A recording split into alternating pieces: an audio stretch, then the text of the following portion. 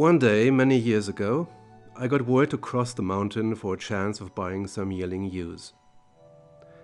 I had not long set out before I fell in with two neighbor men, and glad enough I was of their company.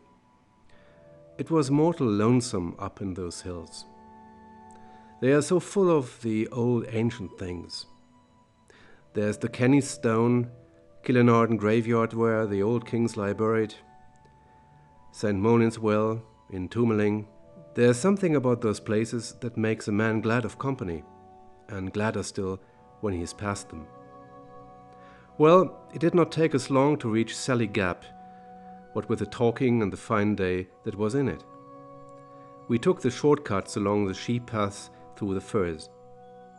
I was in great heart, never felt better in my life. Suddenly, without a moment's warning, a terrible feeling took hold of me. My stomach fell in as if with the most awful hunger, my knees trembled, and the sight left my eyes. A sweat so cold that it froze my blood broke out of me. I fell to my hands and knees and knew that I would die in a few minutes. One of the men I was with looked back and saw how things were with me. He came to me and, reaching into the pocket, took out a morsel of bread which he forced into my mouth. Glory be to God, but it was the hard matter for me to swallow it.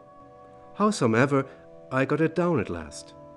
In less time than it takes to tell, the life came back into my body. I stood up, thanked God, and was as well as ever. That was the hungry grass you trod on, the neighbor man told me. Nobody but a fool tramps these hills without food in his pocket. Many a stranger died for lack of it. It kills even cattle or sheep.